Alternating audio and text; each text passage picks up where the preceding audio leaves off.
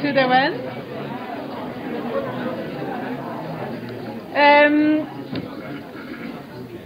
Norway, together with Tunisia and URG, are very pleased to welcome you to uh, this uh, very informal uh, reception uh, to exchange views on religion-based reservation to human rights treaties and what they can tell us about universality, religion, and belief in the 21st century. You're all aware of the discussions ongoing on uh, religion and human rights, on freedom of expression, on extremism, and all the issues that we are discussing down in room 20. Uh, today's reception is uh, a further contribution to this discussion and the reflection on the relationship between religion and human rights.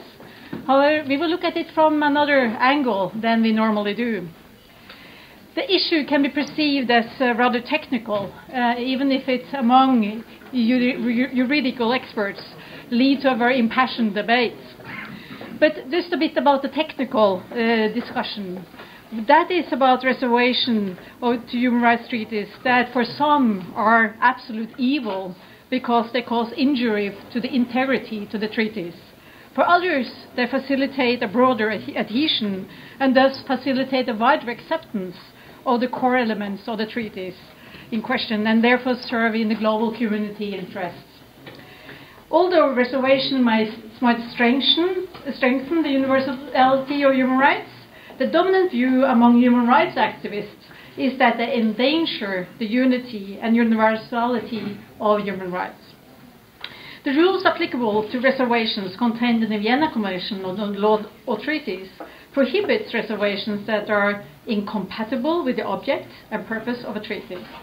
These rules balance between the prerequisites of universality and the integrity of the treaty. And as we will hear from other speakers today, a number of states have made reservations to human rights treaties on the ground that national law, tradition, religion, or culture are not congruent with convention principles and purport to justify the reservation on that basis.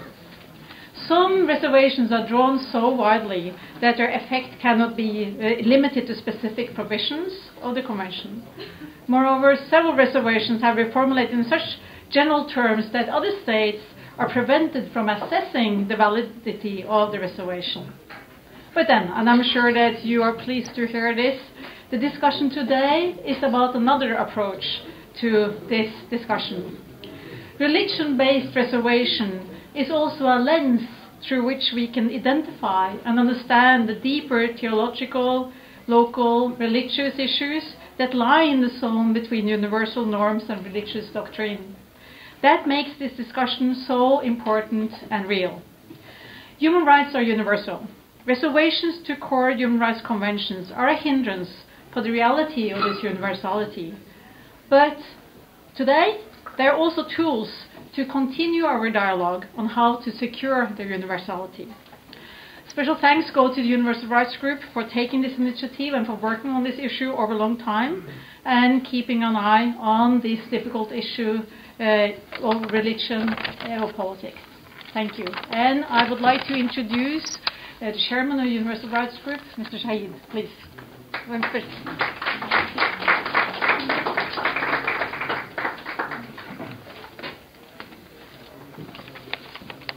Thank you, Harriet, uh, for inviting me to the podium. Um, distinguished um, Excellencies, distinguished delegates, friends, colleagues, a very good afternoon to you and thank you for joining us for this uh, event. The URG, the board of which I am the chair, has identified religion and human rights as one of its four priority areas of focus. And the reasons, I think, for many of us quite clear. If one looks at what's happening um, in the world at the present time, questions touching religion, belief, and human rights, including freedom of religion and expression, are never far from the spotlight. As part of the URG's program on religion and human rights, we are uh, pursuing two linked projects.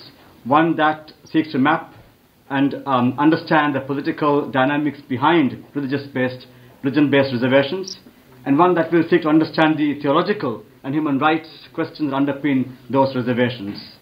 In the context of these projects, URG has recently organized two policy dialogues many of you, uh, many of you here have been linked with that.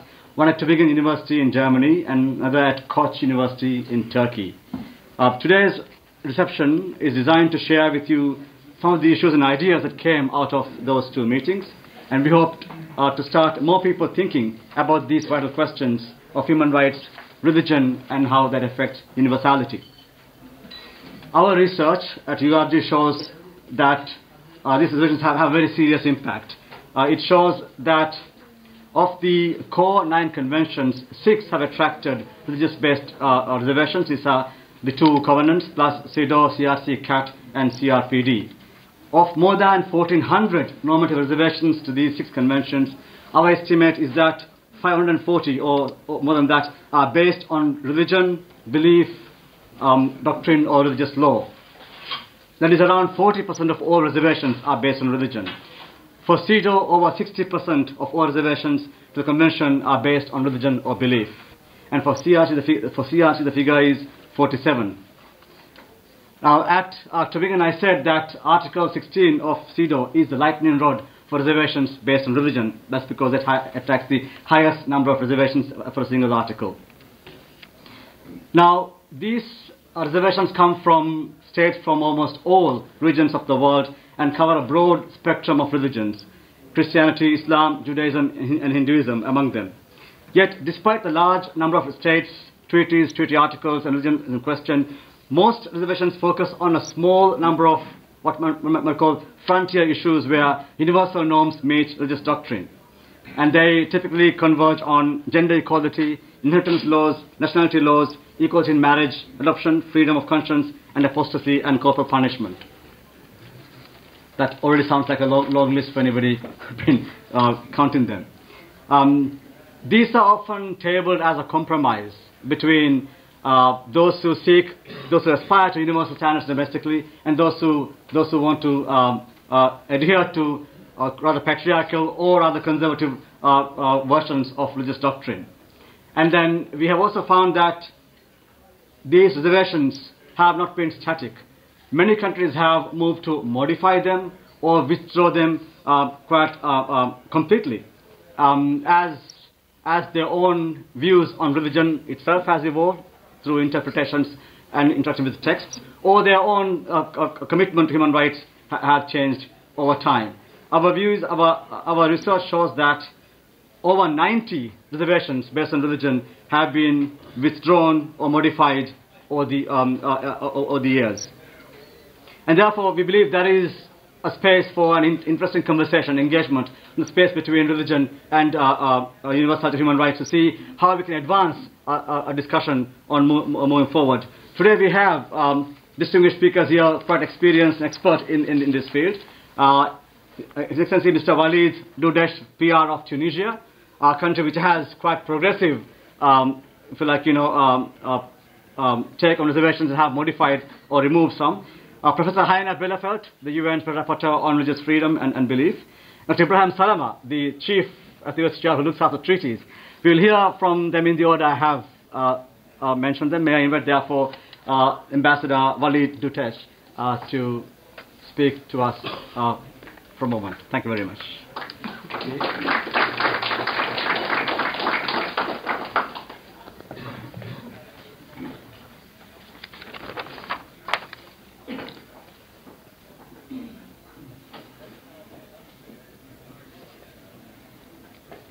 Sorry, I didn't know that I have to start.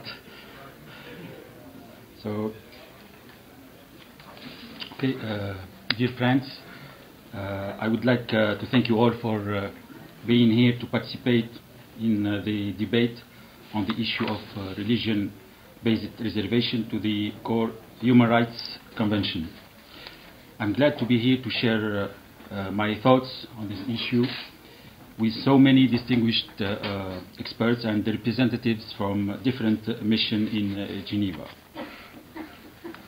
At the outset, I would like to mention that Tunisia has ratified 11 international human rights instruments without any reservation or declaration, but has made some reservation and general declaration when ratifying the Convention on the Elimination of All Forms of Discrimination Against Women, the Convention on the Rights of Child, and the optional protocol to the Convention on the Rights of Child on the in involvement of children in armed conflicts.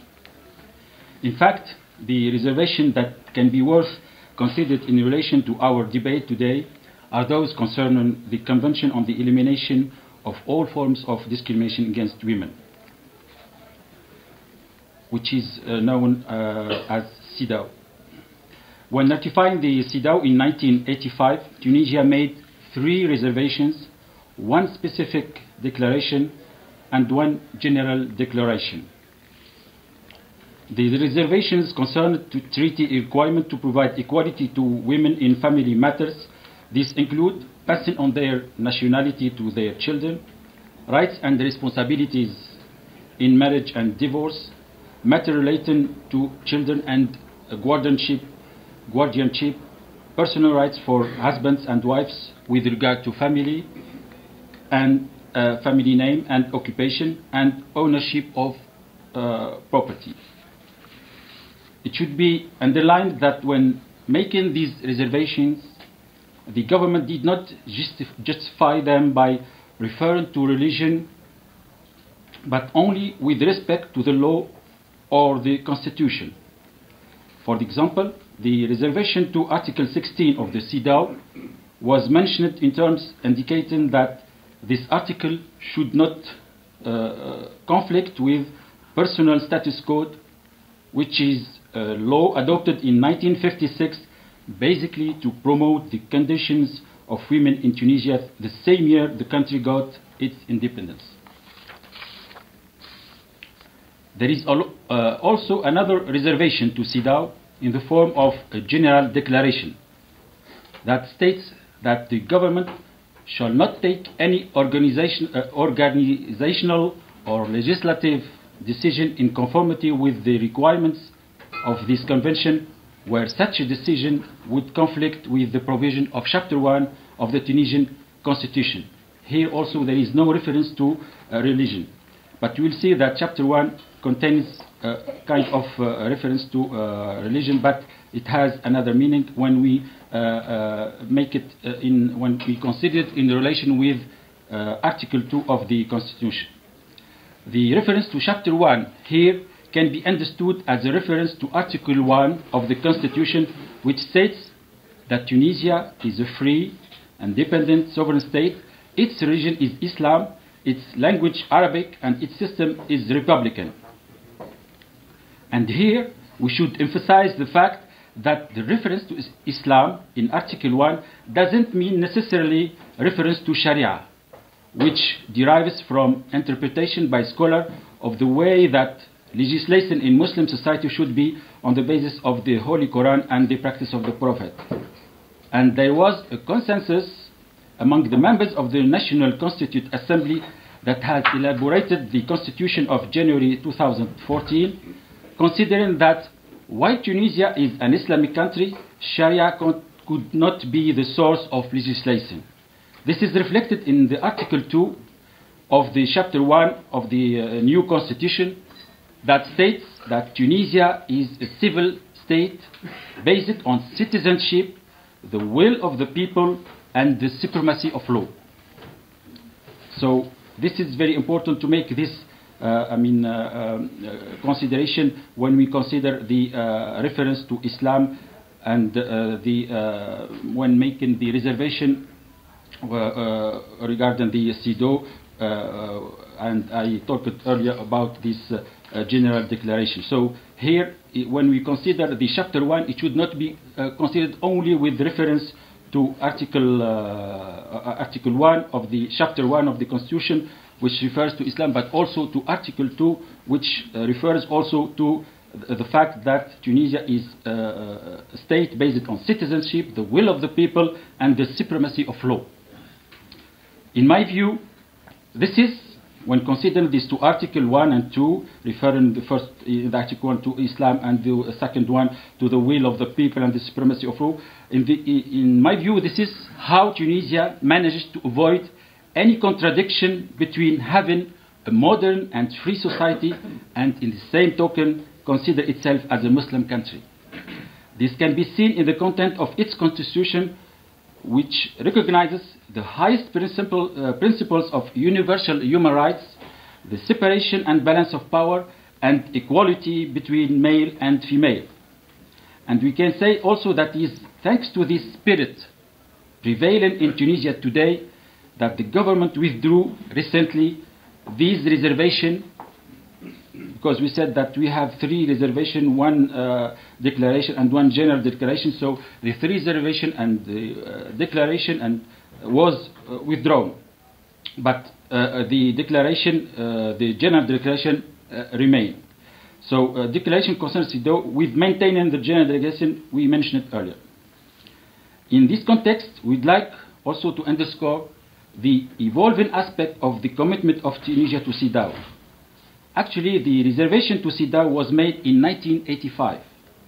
At that time, Tunisia was considered as a liberal Arab and Muslim country. Today, and after the revolution, the government withdrew most of these reservations. It should be considered as an important evolution and come in conformity of Article 46 of the new constitution that states inter alia that the state commits to protect women's accrued rights and work to strengthen and develop those rights.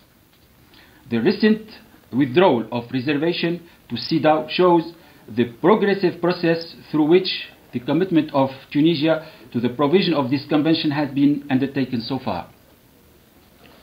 We should stress in this context also that Tunisia's adherence to women's rights has its root, roots back in old history, rich of very important and diversified civilization that flourished in Tunisia and contributed to the enrichment of the heritage of mankind. This, herit- this historical heritage helped create a reformist movement started in the second half of the 19th century and has made the Tunisian revolution possible in 2011 and gave its strength to survive today. And I believe that this, is, this reformist movement will continue to pave the way for a better future for the Tunisians, especially women. In conclusion, I think it is important to consider reservation as a way to widen the international adherence to human rights conventions. On the other hand, religion cannot be considered, in my point of view, as an obstacle to the universality of human rights when there is a strong and genuine commitment to those rights. I thank you.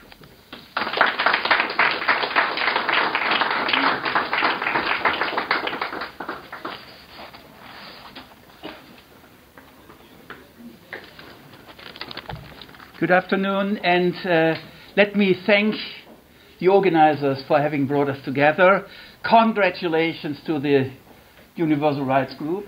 Uh, Ahmed, to you personally also, not only for the event, but also for the study you have undertaken on this issue, which is a very specific one, but also a very broad one. I think it really is a, gives us a lens through which to consider a broad variety of issues but in a, a new and innovative way. Thank you very much.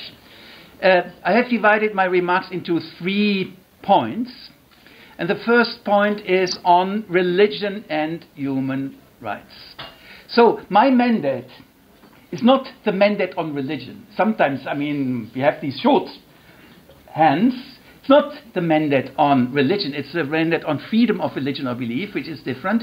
But nonetheless, I take the liberty of, uh, uh, of saying a few words on the relationship between, or facets of the relationship between human rights and religion. And uh, here, I mean, uh, the, the, the trivial truth, which I want to point out because sometimes trivialities have to be reiterated, I'm doing it all the time. Human rights themselves are not a religion. I do believe in human rights. Nonetheless, human rights is not a comprehensive belief system comparable to religions. And we should not uh, misperceive uh, human rights as a sort of religion civile internationale. Sometimes I do come across such misunderstandings, also in academic literature, sometimes in political rhetoric. um, I think this would be uh, not only an, a, a misunderstanding, it would create a lot of confusion. No, human rights are not a religion. They are legally binding norms uh, and also epitomizing the normative awareness of the international community. Their main source is respect for human dignity. And that is, of course, I mean, that turns these rights, which are rights, uh, legal instruments, at the same time into moral demands. So human rights are rights, but they are not well, any sort of rights, but they have a certain moral persuasiveness, human dignity, which also, yeah, it resonates with uh, deeply with many religious traditions. But then the consequences we we now, nowadays uh, draw from institutionalizing respect for human dignity are also different from religious traditions. Uh, let me quote, uh, it's actually my favorite quote, you know it, uh, the first sentence of the preamble of the UDHR recognition of the inherent dignity and of the equal and inalienable rights of all members of the human family. So the inalienability of human rights, that is, I mean, the moral persuasiveness, but then also equality. Equality in rights, equality between men and women, also between religious minorities, minor, uh, majorities. I mean, equality really as one of the architectural principles. Uh, I wouldn't say that it's something that only arose in the modern era, but oh, I mean, to have this as a legally binding principle is something pretty new. And also then a source for complications, to use a rather innocent word uh, that might arise between religious traditions and human rights. This was my first point. So it's, uh, uh, there are complications. Uh, we should not uh, postulate uh, a harmony from the beginning. I think that's not sustainable. But always work on the assumption um, it's different categories. Human rights are not a religion or quasi religion or religion civile of a modern type in itself. It's different. My second point, and now more specifically on reservations. Uh, I would in fact say uh, that reservations can never be ideal, and that is again innocent language. Um, it can never be ideal. So, uh, endorsing human rights, endorsing also the legal element of human rights, so international ratification, should lead to full endorsement. I mean, that is, of course, the goal. And uh, sometimes, okay, we cannot reach it, uh, and then, okay, one can make certain allowances, but I would say they are temporary. I'm, i would never be satisfied with uh, uh reservations, uh, because then also the various reservations that we have on, uh, on a global scale mean, I mean, there's always a lack of transparency, a lack of clarity, a lack of unity. so for human rights to unfold their force, their legal force, but also their moral persuasiveness, yeah, I mean, reservations create a problem. Uh, and uh, that is even more the case if these reservations are very broad. If they refer to core obligations, I mean, how can you ratify CEDAW and at the same time exclude Article 16, family life? What remains, what remains. I have my doubts. That uh, I mean, uh, when uh, these reservations concern core elements, then it's even more problematic. And and, and then uh, when uh, reservations uh, prevent also prevent us and prevent human rights advocates to be really fully specific also in dealing with equality issues, emancipation, uh, between men and women, but also children. We know, I mean, we heard it also from Ahmed in his brief introduction, that the reservations, and in particular those uh, made with reference to religion, uh, particularly affect CEDAW and CRC. So it is really something that remains disturbing, and we should not gloss over that. The good news, also from the findings, is, and we heard it uh, just now also from the ambassador of Algeria, uh, uh, uh, Tunisia, sorry, that there is also change and that reservations, I mean, the temporarity of reservations has been proven by states lifting reservations, removing reservations, uh, fine tuning things. Uh, uh, based on more clarity, maybe also new interpretations of religious sources, sometimes also women taking a more active role in the interpretation of religious sources, feminist theology, I mean, that's also including queer theology. Uh, these are interesting trends, but also, I mean, the work of clarification has to be done on all sides, also on the side of human rights. Also, here, interpretive clarity, I think, really is important. It helps. My third and last point, now more specifically, freedom of religion, I believe. I started with religion, freedom. I mean, why is the mandate that I am blessed with, maybe may I, I use that loaded uh, language, uh, why is it not called uh, the mandate on religion? I think it has a deeper significance because if you take religion seriously, and I do take it seriously, as part of the human dimension, of the human condition, you will, of course, realize religion only exists in the plural. Religions, beliefs, the various beliefs. The more deeply you go into this, the more you will uh, realize. Uh, there are even irreconcilable differences. What is sacred for one may be totally incomprehensible for another. That's why when it comes to providing legal protection, human rights have that element of providing legal protection. You cannot provide legal protection to religions, not in a consistent way. You have to single out some at the expense of others. That's why, I mean, the common denominator that allows us also to come up with legal protection is the human being. The human being holding beliefs of various kinds, the human being practicing beliefs, religions, deep convictions, existential convictions of various kinds. So, I mean, that is the common denominator which allows us to really also provide legal protection. That's why the human being is the right holder. It does not mean subscribing to an anthropocentric worldview. I mean, this is not about worldviews. It's not a comprehensive belief system, but I mean, the element of legal protection must be there. And freedom of religion or belief has the same logic as any other human right. It protects human beings, human beings more specifically in this dimension, in their human beings, in their deep existential, profound conviction, identity shaping convictions, and conviction based practices. It's a very practical right. That's why human beings having that status of right holders, I always find it disturbing per se if states enter reservations by referring to religion. How can states do that? I'm really wondering. It's a serious question.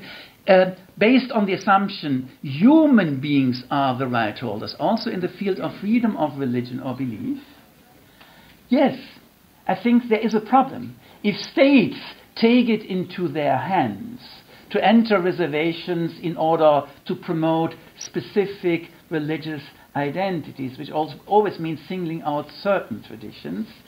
Um, I have a problem with reservations generally. I uh, do share what was said earlier. We live in, a, in the real world, and so sometimes we have to, to, to look for the second best solutions, and that's why reservations, declarations is part of it.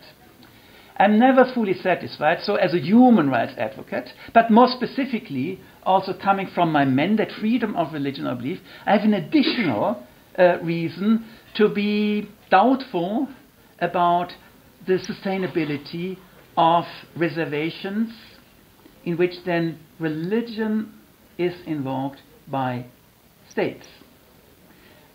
That's why I think it's good to discuss. It's also I'm always discussing in a listening mode, trying to understand better.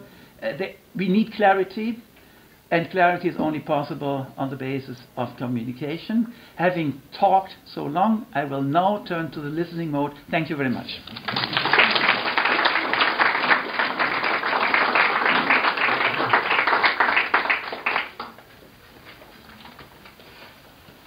Me too, I'm grateful for the Universal Rights Group, to you, Ahmed, personally, and to the organizers for this opportunity. In fact, I don't know how many of us realize, but, but the two events, and it's rare that I attend two events back to back in Tübingen and Istanbul. It was time very well spent. And I think these discussions, uh, in addition to the number of side events or discussions or resolutions or during that council that invoked religion one way or another uh, provide an indicator that, that the issue is no longer neglected the same way. I fully understand the, the, the legitimacy of the reasons why so many people try to avoid the issues of religion uh, uh, when it comes to human rights by very legitimate and well-founded fear of relativism in the name of religion.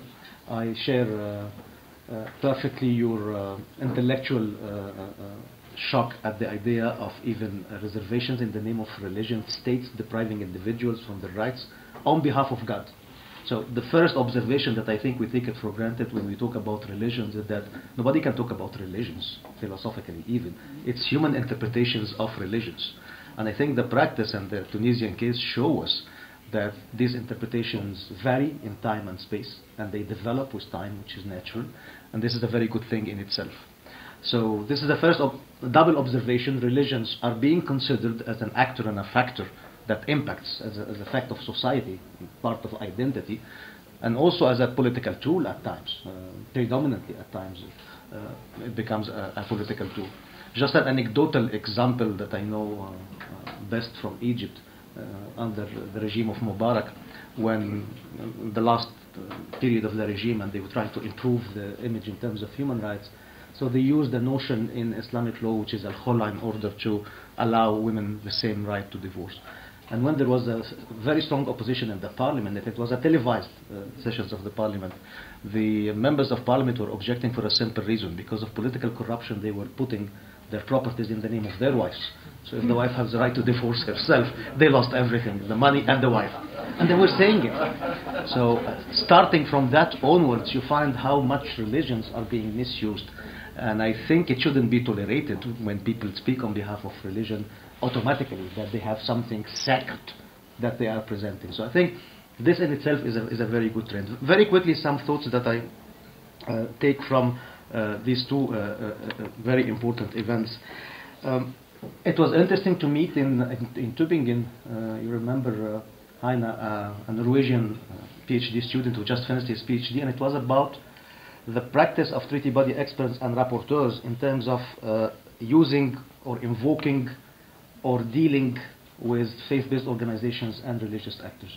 And interestingly enough, it was CRC and CEDAW, the most users of this in their concluding observations, precisely because of what you said, that the impact is much more higher on uh, children's rights and, and women's rights. So I think that the treaty bodies and the rapporteurs were ahead of the intergovernmental uh, uh, discourse in terms of recognizing, albeit without a conscious, thoughtful discussion, but the, the, the, the facts dictated the need to address the religious authorities and, non and, and faith-based organizations and the non-state actors who also have responsibilities in the area of, of human rights. Personally, and as a Muslim, as a personal view, I, I do not accept at all any uh, uh, uh, reservations or relativism in the name of religion. The only particularities that I personally, as a Muslim, can accept are those who, that add to the international level of protection, being the minimum common standard of humanity, to quote another, uh, the UDHR. So for me, it doesn't bother me at all. It's, I know that it's about only human interpretations that are being politically manipulated to justify violence and to gain political ground, predominantly in the name of religion. But you can only reach that conclusion and convince and not don't leave it a chasse gardée for the manipulators only if you accept to address the issue.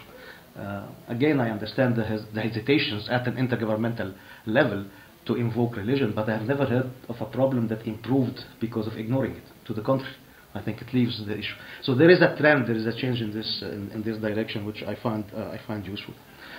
Secondly, I think that uh, the level to which religions have been misused as a political shield from the personal uh, uh, situations, the, the, the authority between the couple to the political level, at the national level, to the international level, that we can only think of a negative role of religion when it comes to human rights. What these two events, and I'll spare you the examples because I would take many long time, and I'm very happy that there will be a report about the events because this shows to which extent religions can become also a positive factor in terms of enhancing human rights and uh, um, adding to the international protection. CRC refers to al-kafala, which is a, an Islamic concept in terms of uh, the, the equivalent to, to adoption, for instance. And it has an added protective value in the society. And this is not the only example. For many other religions and for many other uh, uh, example, one can find that religion can play a role. How to maximize the potential positive and avoid the political misuse is an issue that we can only uh, uh, understand if we address it first uh, uh, and foremost. Are there roles for religious authority? I think increasingly there are bits and pieces of flashes of where they, they have to be uh, to meet these uh, responsibilities. And, um, and um again, the number of side events that invoke this is, is, is, is really impressive. Um, one thing which is shocking for me, I don't know how many of us have discussed human rights issues with religious authorities, but the notion that they have about human rights is predominantly so negative beyond what you can imagine. Uh, so the, the relationship is it's vice versa. It's exactly reciprocal, reciprocal misunderstanding or misuse or, or, or political manipulation. Uh, I think religious authorities have a lot to learn and have a lot to gain if uh, human rights issues are introduced into their own thinking. I was very surprised to see at Tübingen a center of Islamic theology that is preparing um, a common curriculum and methodology to teach uh, theology uh, across all religions. So it's not an Islamic theology, it's not a Christian theology, um, and it's very working in practice.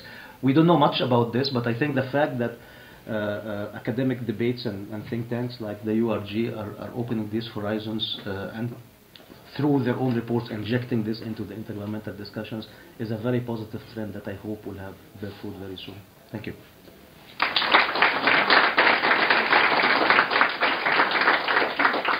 Um, thank you very much to all our speakers. Uh, if we have time for some questions and answers, if, if anybody, or some comments, if anybody want to do that, unless you want to head back to your meetings.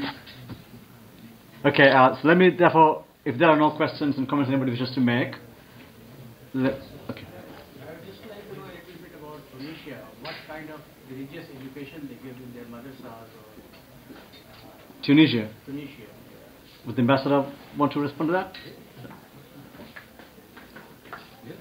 I, I didn't hear uh, your What question, kind please. of textbooks uh, you use in your madrasas? Textbook?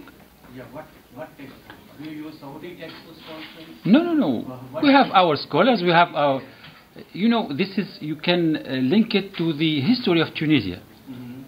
You know, the first, uh, uh, I mean, Muslim who, who arrived to Africa, they uh, arrived in the 70, uh, in the 7th century. Yeah.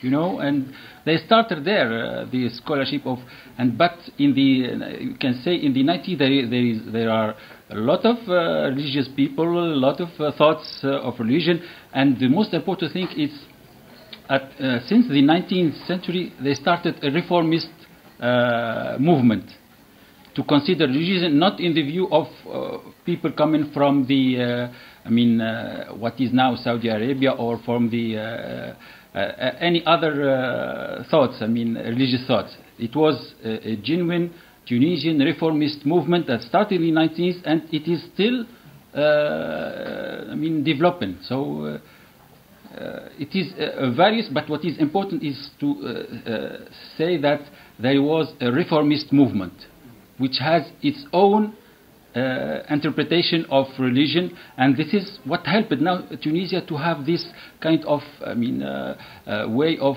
understanding religion and not to understand it in contradiction with uh, human rights in general. So, uh, and this is how also to, uh, that we managed to make progress I mean, to make uh, there is kind of evolving I mean, situation in Tunisia with regard to human rights in general. So, and we consider still, and the main party now in Tunisia, the religious party, it is uh, based the, uh, his uh, I mean principle is equality, freedom, and uh, I mean modernity and modernism. So, and they think that uh, there is no uh, contradiction between religion and human rights, and they de- defend strongly human rights. So, and this is how we get we got this uh, constitution. Without their approval of what is in constitution, which is uh, contain, uh, contains very high, I mean, standards of international human rights, I mean, principle. So, uh, without their approval, this constitution could not uh, be uh, elaborated and adopted. Many many Muslim societies are looking for uh, non-Saudi uh, Yes. textbooks. Yes. Is it possible to get hold of uh, Tunisian textbooks to see if they are better and? No, it's, it's, it's, uh, it's up to you. I mean, it's up to you. If you choose this Saudi, you can choose. If you, if you want to choose this Tunisian, you can choose them. So it's, it's, it's, uh, it's also part of your, your freedom of, of belief, of thoughts. You choose the way you, you, you think that is uh, best for you. Okay, thank you. We'll take one more question. Jane? I think it's important. Is it for me too? Oh, no, not you, it's just a comment. Okay. Um, I attended the Istanbul meeting, as you know, and I've done quite a lot of work on um, reservations to CEDAW. And I think it's important when you're looking at these reservations to be very careful with the phrase religion-based reservations, because, a good example, Monaco, Bahamas, and um, Tunisia and Egypt had reservations to Article 9 of CEDAW, which is about citizenship. This is about the patriarchy. It's nothing to do with religion. So when you're classifying, you may want to be a little, little less, you know, sort of, this is religious, this is not religious. And um, Bahamas still has that. So that's a very good point actually. Uh, there is a lot of confusion even when you make reservations. Uh, I come from the Maldives where I was involved in sometimes making them, modifying them and removing them. So I've seen the whole process from various perspectives. This issue, nationality, uh, Sharia has no concept of citizenship in it. It's just added on from, I suppose, European engagement with these lands and therefore becomes a male uh, transmitted uh, uh, patriarchy, absolutely. Um, I think we might want to wrap up at this point. I want to thank all of you for being here and for the speakers for enlightening us with their insightful uh, comments. Um, before I end, however, I want to add that in my own country, I, I grew up with the laws and everybody arguing that women can't be leaders in a Muslim, in a Muslim country. By the time we grew up, well, the, the beliefs changed. So, in other words, there is always space for evolution, space for change. There is no one common Sharia reading anywhere. It keeps on changing all the time. As Ibrahim said, you know, there is nothing that is sort of not flexible here. So I believe there is scope for us to engage in rational discussions to see how the legal approach uh, can uh, offer protections to individuals and their human rights rather than religions and more abstract uh, notions that don't actually have right ent- entitlements. So thank you very much for being here. I look forward to further engagement with you on this and other subjects as we move along. Thank you very much.